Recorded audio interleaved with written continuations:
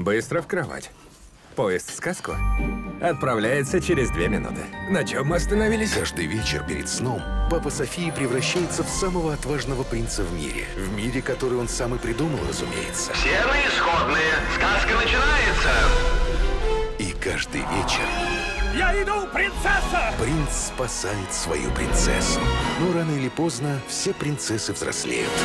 Пап, мне уже 11. Мне нужен настоящий герой с тысячей подписчиков и в классных кроссовках. Так устроены девочки, дружище. Месье, отойдите, мы ждем прекрасного принца. Так я есть принц. Я сказал, прекрасного. Чё за пацан?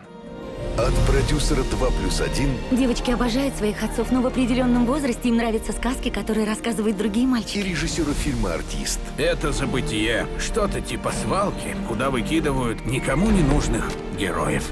Допрыгался красавчик!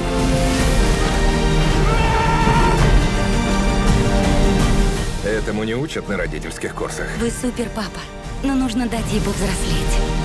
Пацан, нам надо найти ее. У моей сказки будет хэппи-энд. Ну все, сейчас я покажу вам, кто тут папочка. «Папина дочка». В кино с 29 октября.